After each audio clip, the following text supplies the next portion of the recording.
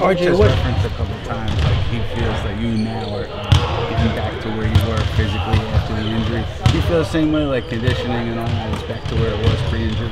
Yeah, I feel like you know when you come back, um, it takes you a little bit to get in your groove, and um, you know, like I said, every day I've just been working, so you know, I'm kind of getting back. What has been for you? Uh, is the game slowed down a little bit, or have you just figured out a little bit more now uh, as far as what the vets are trying to do against you out there? Um, just like I said, just been kind of kind of learning and really learning my spots, kind of learning the game more. Especially, you know, I, I, felt like I was doing good until I got hurt. So then coming back now and just you know relaxing. So yeah. Last night after the game, James Harden had some very nice things to say about you, aggressiveness and kind of what he's seeing in you. you, you I know you don't read that stuff, but do you get much feedback from guys like that on the court after games? I um I didn't get to see him after the game yesterday, but uh, no, I mean I just been watching him and um, how he plays and how a lot of guys play. You know, like I said, picking your spots and just you know, knowing when to be aggressive, knowing when to you know pass. So um, you know it's great to have somebody like that say something.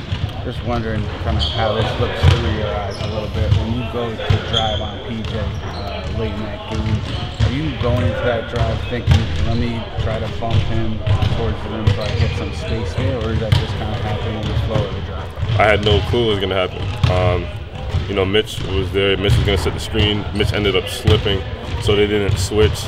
So you know, like I had no clue it was gonna happen. I just, you know, just try to make the best of it. You, when you're driving though, do you? Because it seems like you always use your body pretty well to create that space. Is that something that generally is, is you know, not a goal, but something that you think about as a, a weapon for you because of your frame?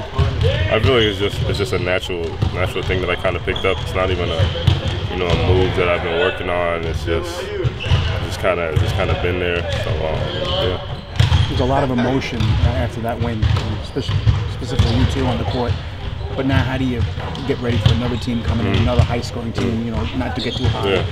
Um, we watched film uh, today, and, and uh, watched some last night, and now it's over with. You know, I've got another game tomorrow. Just gotta keep focusing in on what we gotta do, because you know it, it's it's easy to you know try to stay with it when when you win, but just like it's just like a loss, you gotta keep moving forward.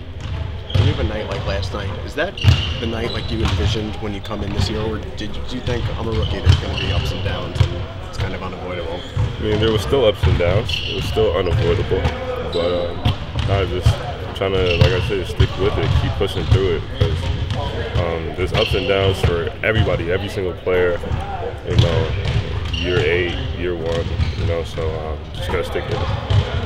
You make sure Daniel Jones comes for a few more games now. That he maybe was a good luck charm. Yeah, last night? yeah, yeah. It was, it was good to have him out there. You know, he texted me after the game, so you know, it's, it's cool to see him out there. You said on that last possession when he was defending Westbrook that you guys kind of felt like you knew it was coming based on the stuff that they had run Mhm. you guys talk about that in the huddle, or when you see them on the floor, do you know this is this is Um. Like, how, how is that? I know. I personally, I personally saw it when we, we got out the huddle and we saw the setup. I think they had Russ and James in the backcourt, so I, I figured because they had done it before, the play before. I figured they're just gonna try to get Russ downhill, and we were only up two, so it was a, it was a good play.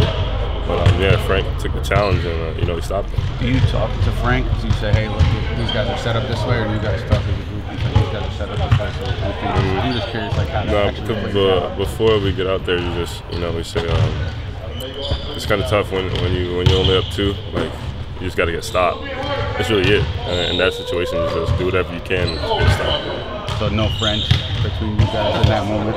nah, nah, nah. We're too we're too focused on the game right there.